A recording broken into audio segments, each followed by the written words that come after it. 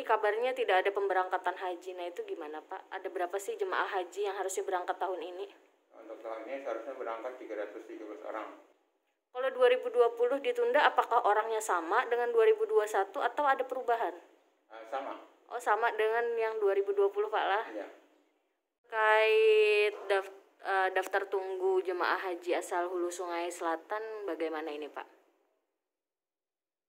Alhamdulillah untuk daftar tunggu, kalau mendaftar sekarang, eh, daftar tunggunya selama 34 tahun.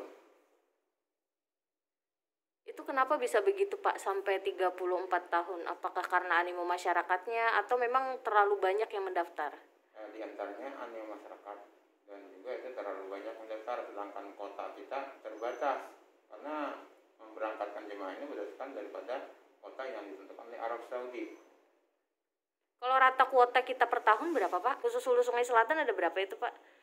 Rata-ratanya Eh, sekitar 200 lah 200-an. orang.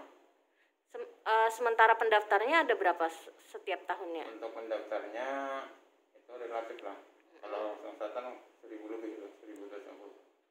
Kabarnya Pian ditugaskan sebagai petugas kloter lah sudah dua tahun tertunda. Nah kayak apa ini Pak perasaannya?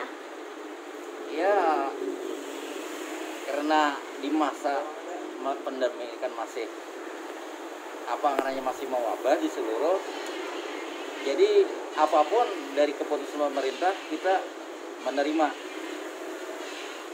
harapannya ya ke depan ya mudah-mudahan ah, COVID-19 sudah berakhir sehingga para jemaah seluruhnya yang sudah mengharap-harapkan untuk ke tanah suci menunaikan ibadah haji dapat terlaksana dengan bagus